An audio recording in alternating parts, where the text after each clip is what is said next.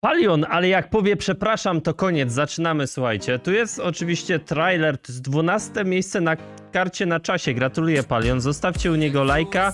Oczywiście link w opisie i w komentarzu. I pamiętajcie, 8 lipca premiera jego teledysku.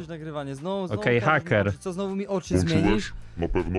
Tak, no włączyłem, tylko, tylko poczekaj, bo Okej. ja nie rozumiem o co ci chodzi, w sensie usunąłeś Co ten haker tu będzie? Wkurzony, Czyli to jednak haker mu o usunął dziwo- O trailer. dziwo powrócił, o dziwo powrócił. I widzowie, naprawdę, bo wy pisaliście w komentarzach, nie, ale ten trailer przecież, y, on przecież był na YouTubie. Widzowie, od godziny pierwszej w nocy do godziny około, ile tam było, może do 15, 16. Do 15. Nie było tego Ej, to, to długo go nie było, Nie, Nie, że naprawdę. ja sedem na niepubliczny, tylko on został jakby zbanowany po prostu. I, i mam screeny, dowody, więc jeżeli ktoś będzie chciał, no na filmie teraz jeszcze nie będę dał, ale mogę wam na story wstawić, jak nadal nie będziecie mi wierzyć. No to ładnie, powiem wam, że s- dziwna sytuacja. Na spokojnie. Dobra, haker, tylko po co tu przychodzisz, po co mam włączyć nagrywanie yy, i ten, no fajnie. Nie wiedziałem, No. że to kiedykolwiek powiem.